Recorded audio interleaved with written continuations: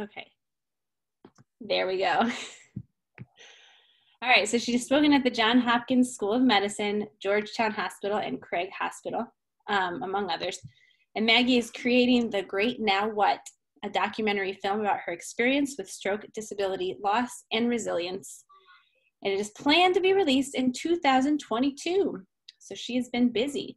Uh, but Maggie, I'll let you go ahead and take it away. okay, great. Well, thank you everyone for having me. I'm so thrilled to be here today and so grateful to the Angioma Alliance community. And I know some of you uh, personally, so thanks for coming to my talk. Um, this is a kind of abbreviated version of the talk that I give at medical schools, and uh, I'm really happy to share it with you today. So here we go. I'm going to share my screen.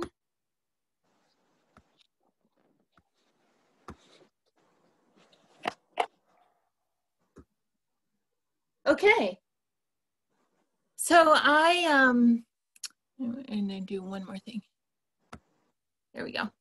I'm really glad to speak to you in the month of September because September is Pain Awareness Month in the uh, country of the United States. and uh, I don't know about you all, but uh, a result of my cavernous angioma um, hemorrhage is that I have really intense nerve pain all the time. And so I like to try and build awareness about pain in the month of September. So a little disclaimer that this is the story of my stroke and the story of my life, and it's quite personal. Um, and uh, that uh, I'm going to show a couple of of photos from my time in the hospital, um, but I'll give a little warning about that, and none of them are too much. There's one of my scar, but that's about it. So I was born in 1981. I in a little mountain town in Colorado. I was a super active child, and I loved to ride my horse and play in the snow. And uh, I was a very uh, kind of theatrical kid as a child. As an adult, some words I would have used to describe myself would be bold. I took a lot of risks in my life and went on a lot of adventures. I had a lot of fun, loved to hang out with my friends and go out and have a party and, and enjoy the lighter side of life. I love to take fun pictures and make my friends laugh and, and just enjoy the lighter side of life as a as a job i was an actor and freelance director and producer. And um, you know a, as a woman and as an actor your face and your body is kind of your whole career. Uh, it's very important what you look like and and that you know as a woman you're attractive. And uh, being an actor i was um, you know, I had some acting gigs, but in between I would be constantly working other jobs. So sometimes I would go from one job to another to another in, one day. And sometimes I worked 80 hours a week. And uh, I really thrived on that kind of lifestyle. I really loved the hustle of it. So here's a little video from uh, 2011 from a little improv comedy festival. You can see how my face used to move.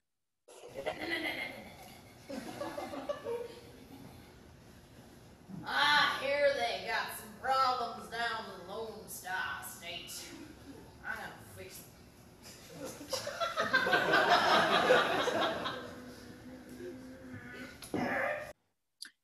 Uh, I was very much an athlete. Uh, I could pick up sports easily. I was a very competitive horseback rider until I was 21 love to snowboard in the winter. By Western beauty standards, I was pretty smoking hot. um, I had, uh, you know, very symmetrical face, beautiful smile, blonde hair, long legs, big boobs, kind of the whole package in terms of the traditional standards of beauty. I was very much a leader of other people, um, and I, I ran an improv comedy group for four years and I directed a lot of shows and produced a lot of shows. And so people look to me to be in charge of everything.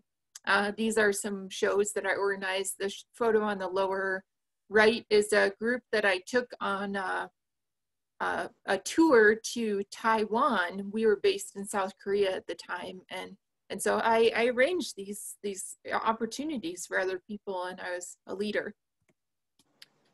I love to travel, and I had done quite a bit of traveling on my own um, throughout my 20s, and I loved seeing the world.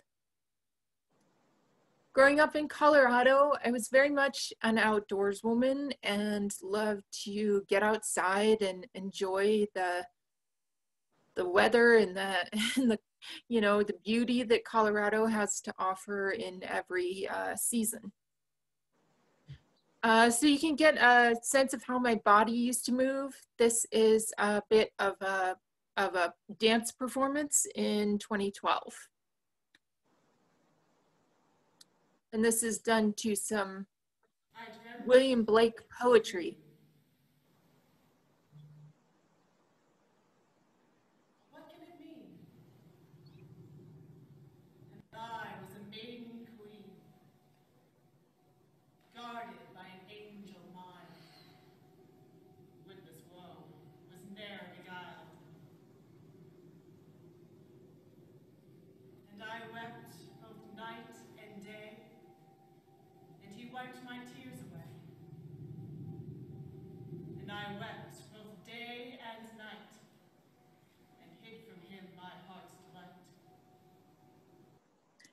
So I had this incredible body that would do exactly what I wanted it to do.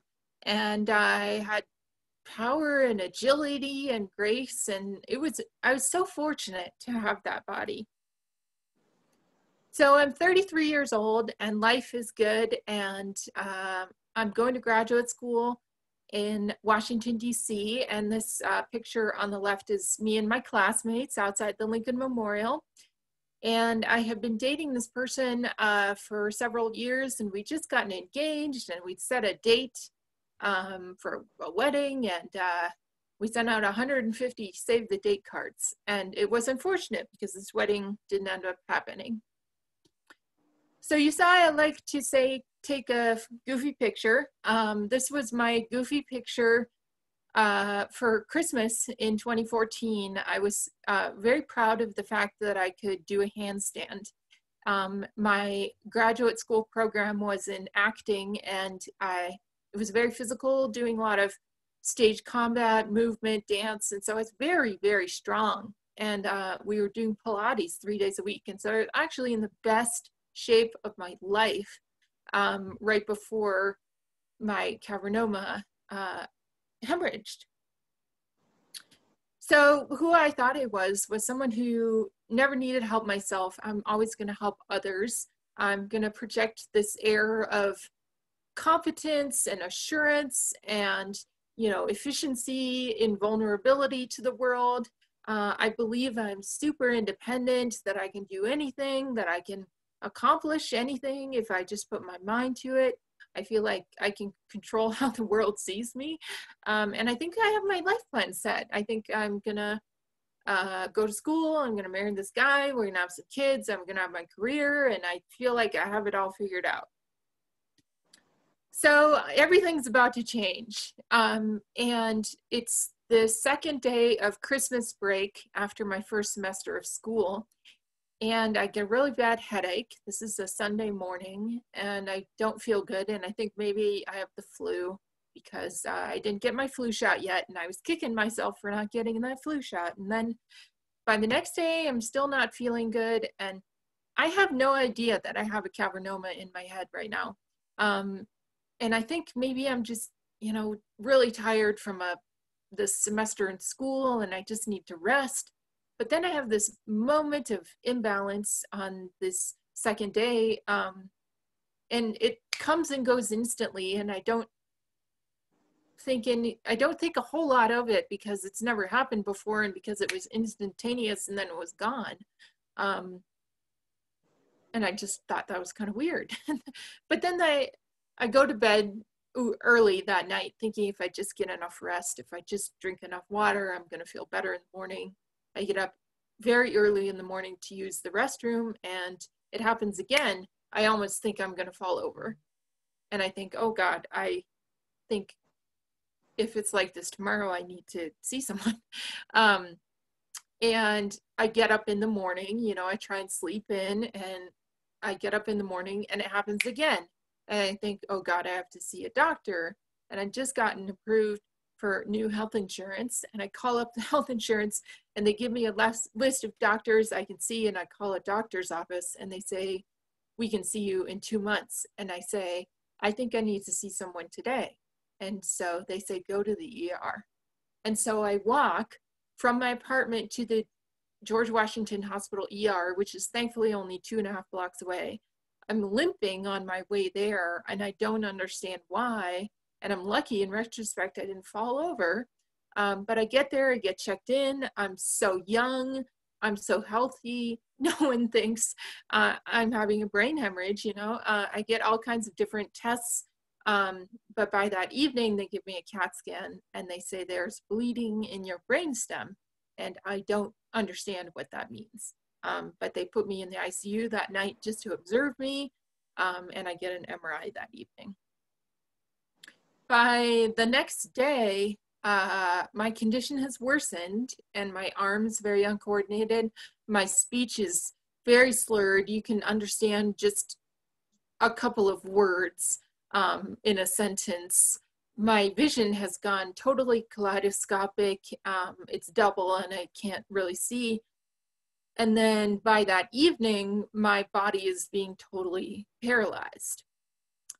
So then it's Christmas morning, right? Merry Christmas, everybody. Uh, I, I, you can't understand a thing I'm saying. It's coming out like, but I'm thinking the words in my head, and I'm like, why doesn't everybody understand what I'm saying? Um, I really can't see. It's super disorienting. They have to put a ventilator down my throat because they can't protect my airway. My uh, my face is totally paralyzed on the right side. My left side of my body is totally paralyzed as well. So I have a cavernous angioma, and I don't know what that is. I've never heard that name before, um, but they say this is what's in your head and that it's hemorrhaging, and they're showing me these pictures of a CAT scan and a and an MRI, and thankfully my sister and my fiance's um, father have come in and are my advocates in the hospital because I can't communicate really anymore. I communicate through my hand, like a thumbs up sign, because I can't speak. And it's like, okay, here's a picture of what's going on in your brain. Um, and this is the scientific explanation of what is happening to me. Um, but I have really searched for what it feels like is happening to me. And the image that comes back to me over and over is a tsunami. A tsunami is just this giant thing that is coming at you and you can't hide from it you can't uh, avoid it uh, and it's it's going to affect every part of your life uh, so this is a tsunami, a picture of the tsunami in Japan in 2011. So I'm at GW Hospital. I get transferred to Johns Hopkins Hospital. I have an amazing neurosurgeon. Her name is Judy Huang. She's incredible. She specializes in all kinds of blood vessel problems in the brain, and cavernous angioma is one of the things she specializes in. And I have to have brain surgery. There's no other option. I will not recover. There's no possibility that I will recover. And I've had two hemorrhages in three days. And so her opinion and the opinion of the neurosurgery staff is that if we wait any longer, she's going to hemorrhage again and she'll end up either locked in or she'll die. Um, so brain surgery is the only option. And so we go in uh, for uh, this massive brain stem surgery this is now nine days after uh, my initial um, symptoms. And it's like, how is it going to go? Who knows? You know, everybody's hoping for the best. And the next picture is me a few days after my surgery. and it I do have a nasal tube in. So I have a feeding tube in my nose because I can't eat, you know, on my own. Um, I've lost a lot of weight because I've been paralyzed in a bed for two weeks. Um, and you can see my eyeballs are starting to point in different directions. And this is my final day in the neurocritical care unit. So here's my brain surgery scar uh, in the back. She she cut uh, in the back. I got a midline suboccipital craniotomy, and she basically, you know, cut open the back of my head and then went in between the hemispheres to get down to my brainstem to remove the cavernoma. Um, and she removed basically all of it, and uh, you know, it's it's great. And I'm thinking I'm going to be able to get out of this hospital bed immediately. But as you can see, I'm like a limp noodle. This is me. Um, they're moving me from the bed to the chair in the hospital room. And it takes three people to move me because I can't move myself.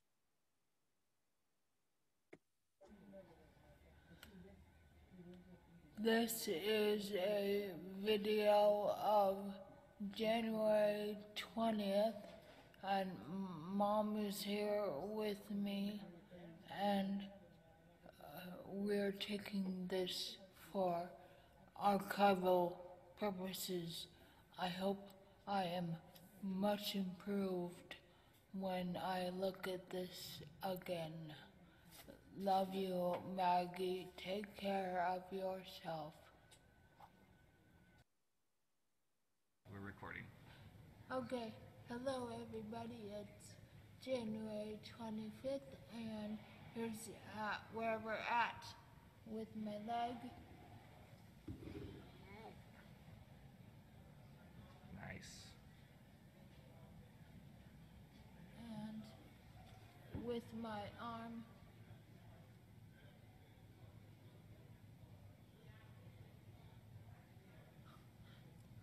And it takes all of my Awesome. strength to do that with my arm.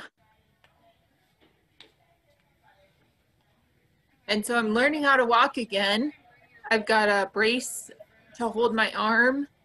Uh, I've got an AFO around my um, lower leg to stabilize my ankle. I have a quad cane for stability. And the wheelchair is right behind me because it's so exhausting just to take a couple of steps. And at any point, I, I just, I need to sit down again.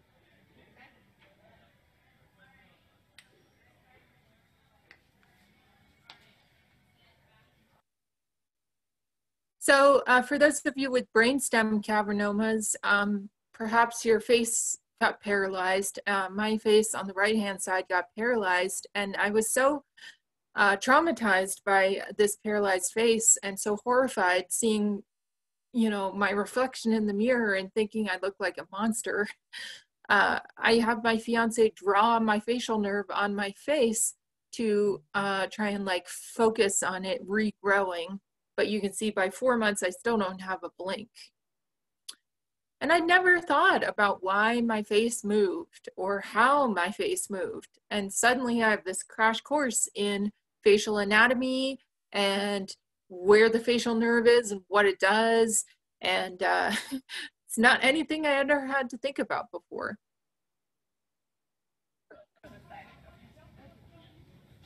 By six months, I'm doing better. I have a much smaller brace on my ankle and I'm using a single point cane now. Uh, for those of you with facial paralysis, um, I got what's called a, a, a, hypoglossal nerve transfer. And uh, basically it helped my face regain symmetry. And you can see that um, yeah, the stroke was at Christmas um, and in June of 2015 is when I got the facial surgery.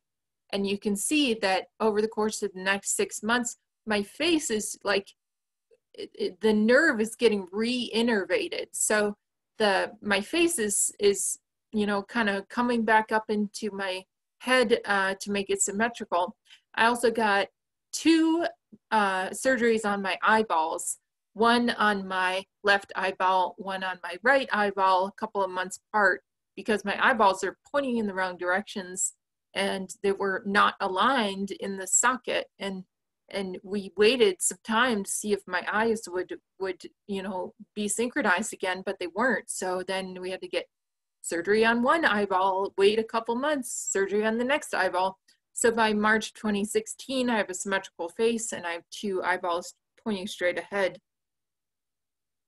But, you know, and the medical community has put me back together, quote unquote.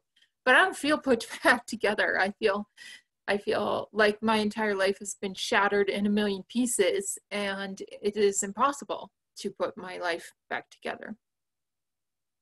So I struggle to explain to people how my life has changed and what is life now. So I, I I'm creating different pieces of art and this is one of them because I want to communicate to people what double vision is like um, and, you know, I got the eyeball surgeries and they helped a lot, but I still have double vision when I look down.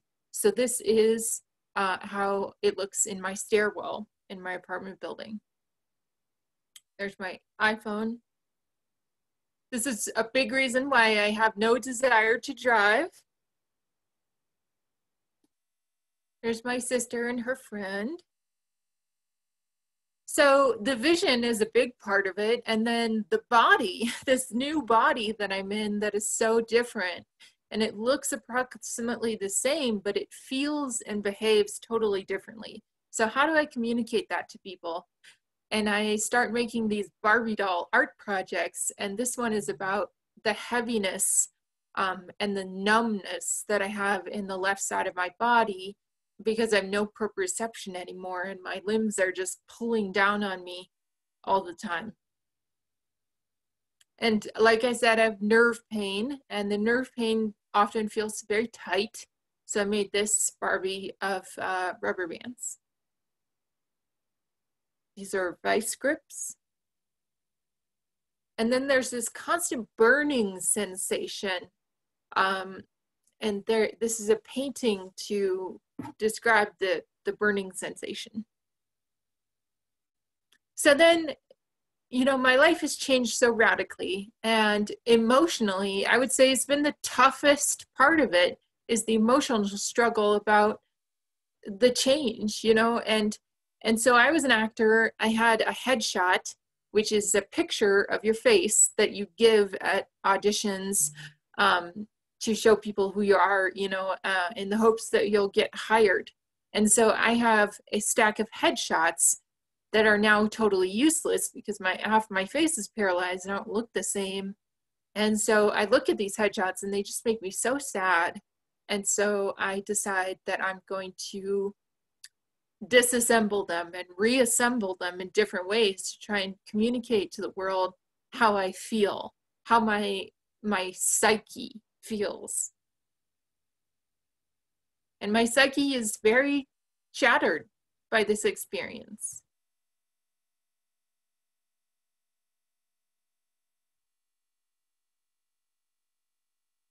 So I'm on Facebook. I know I've talked to some of you on Facebook, um, and Facebook often shows me pictures of my old life. And uh, I, I sometimes feel sad when I see these pictures, but I love this um, quote by Theodore Roosevelt that comparison is the thief of joy.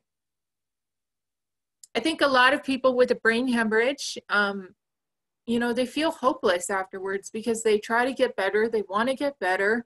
And after a while, you realize you're not going to return to where you were and you start to feel hopeless. There's a lot of shame involved. You have gone, you know, in one day from someone who is functioning in society to someone who can't feed yourself or dress yourself or maybe you can't work can't drive a car maybe you can't even move. Um, and it's like a mountain of shame on top of you. It's very isolating to go through this experience and uh, and feel so separate from everyone else in society that you know you used to have the kind of same experiences as your peers. And now suddenly they're over here having this experience you know, they're getting married, they're having their first kid, they're buying their first house, and I'm over here having a very different experience. There's so much grief involved.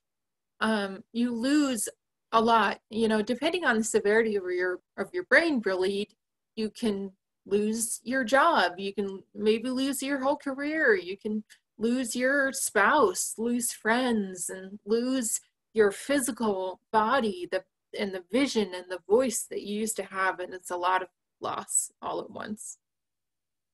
And that loss can translate into a lot of anger and rage. So, uh, you know, I had a brain bleed, um, but because of the size of it, it's a it's a stroke. My my cavernoma bleed was a full on stroke because it was so big. So, I often hear the term stroke victim, and I don't like it very much. And I, I, I wish that everyone would uh, replace uh, that word with stroke survivor. I'm a stroke survivor. So this slide, I've been giving this presentation for a couple of, almost two years, and uh, this slide was not in my presentation at the beginning. And I added it about three and a half years after my um, brain surgery and uh, you know it's not something i would have said to myself one year out or two years out but now i'm five and a half years out and it's true that life does go on and you have to just figure out how to deal with the life that you have now. So i showed you some pictures of my previous life and maybe i thought that life was over for a while but that's not true. Um, you know i'm still bold and you could consider it the boldest thing in the world to tell a bunch of strangers the gruesome details of the worst moment of your life in the hopes that it will build compassion and empathy. I'm also on stage again as an actor with Phamaly Theater Company, and uh, they're just a wonderful company to work with. I also uh, I can get outdoors on a recumbent tricycle, which has been an amazing um, thing to have and I would highly recommend it to anyone who can't ride a traditional bicycle anymore. Uh, it's a great way to get outdoors and be physical and exercise and and also just feel a little bit ind- more independent. You know, I can't drive a car anymore, but I can tool around on my recumbent trike and, and that's uh, that's empowering. So many of you know that I am making a film about my experience um, it's not complete yet, but it will be soon. Um, but we do have uh, this video just as a little taste.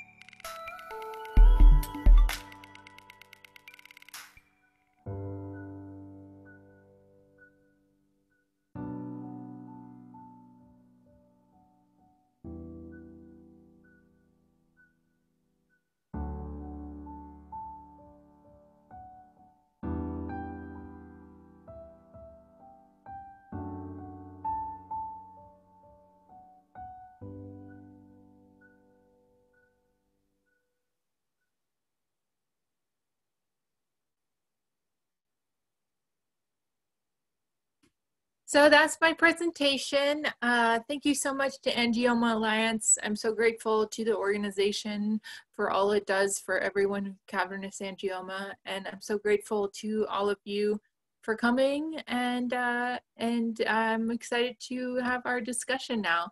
So thank you so much.